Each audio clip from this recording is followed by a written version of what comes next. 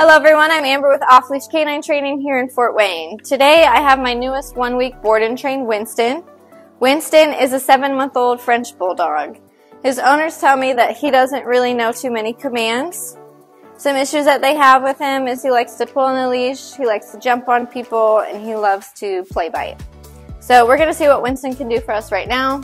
Winston, come! Come! Come! Winston! Yoo-hoo! Winston, sit. Sit. Sit. Winston, place. Place. Place. Winston, heel.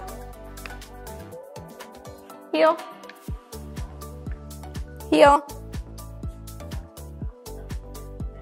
Heel. Heel. Heel. Heel. Heel. Winston. All right, as you can see, Winston doesn't really know much. So we will be working with him over the next week. We hope that you follow along for his progress on Facebook and Instagram. Winston, you ready? Let's go.